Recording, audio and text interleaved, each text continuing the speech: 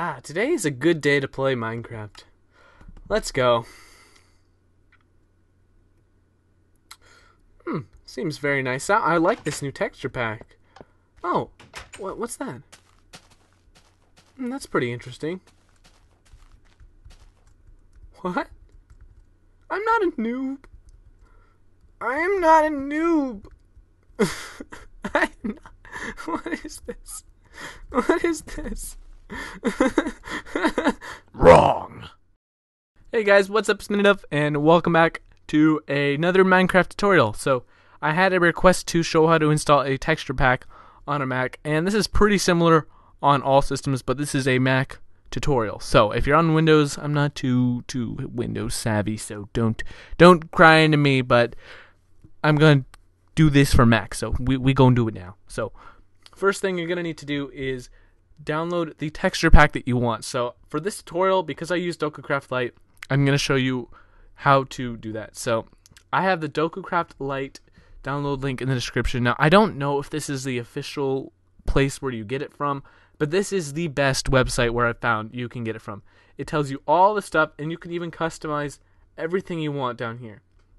I, um, I would definitely not check any of this. I don't know if any of these will work with this, but you can customize what you want things to look like. So we we can change anything we want here, and you know if you want to go through customize it, whatever texture pack you have, uh, we're just going to download DokuCraft.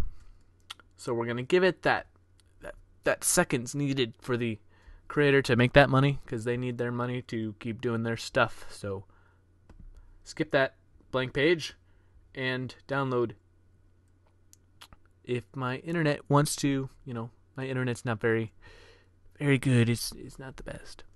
There we go. Mm-hmm.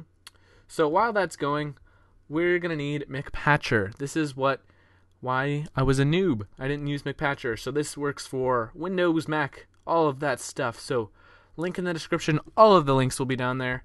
So scroll down until you find download. And Windows, bam, go for Windows, and all other platforms for there. So I'm going to support them with that AdFly link because these guys work hard and they deserve the money that they get off this. You know, it's not that much from this website, but it's very it's very good for them to have. So here we go. Make sure you have the latest version of McPatcher because it it does change a lot of things. So make sure also if you go back, let me go back to the page make sure it tells you that it's compatible with the latest Minecraft version. So right here, Minecraft 1.1, oops, and the latest snapshot. So off the bat, we know this is compatible with our latest version. So, also, if you get an error while trying to load McPatcher, which I'm going to show you how to fix all this right now. So, if something goes wrong when you're trying to do the next step, I would just recommend doing this anyway. So, before you log in, choose options, and then force update, and then log in. And let it do its thing, and then when this is done, I will be right back. Now, if you get an error while doing this process, if it if you get some kind of error while you're trying to force update it, then this is what you want to do. Quit out of the game, go into your Finder, navigate to the Minecraft folder. I've covered this so many times, but it's in Library, application support at the top. And scroll down near the bottom it's alphabetical order so find minecraft. Then go into the bin folder and just delete or just delete the entire bin folder. Put that in the trash. But since it worked for me i'm going to leave it this way. So we're going to save this window because we're going to go back to the minecraft folder anyway. So first thing you want to do is open up the latest version of mcpatcher. And yes open it and it's going to scan and make sure your minecraft.jar is working. So if you get an error while it's scanning it, that means you have a mod or something installed that it's that's just making it not it's just messing up with the thing.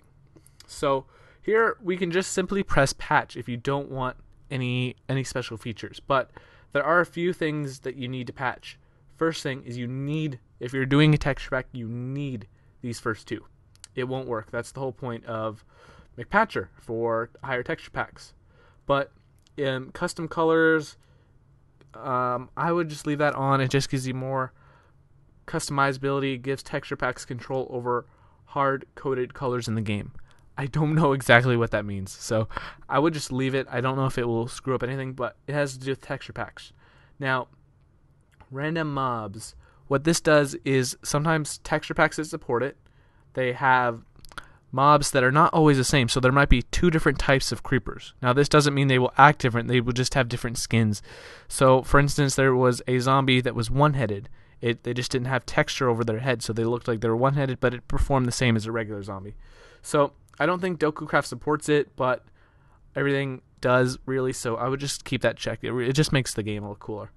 So better grass. Um, what this does is it does not improve the look of grass. It doesn't make it better it just allows grass to grow on the side of blocks.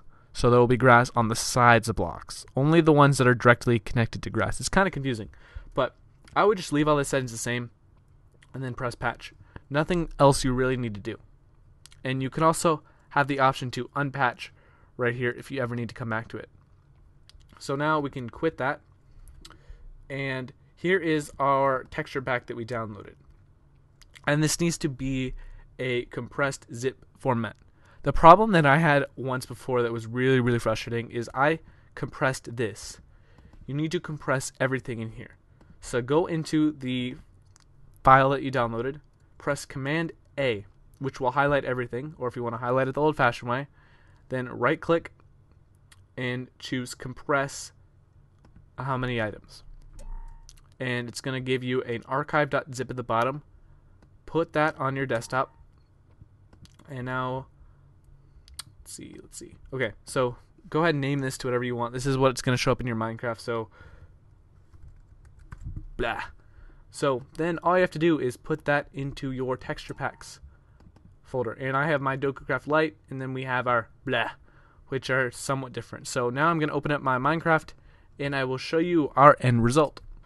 Alright, so we've got our Minecraft open, so we're going to go into texture packs. Now normally when you open it up, this is what's going to look like. So you're going to need to go in and grab your texture pack that you have. So our case it's blah.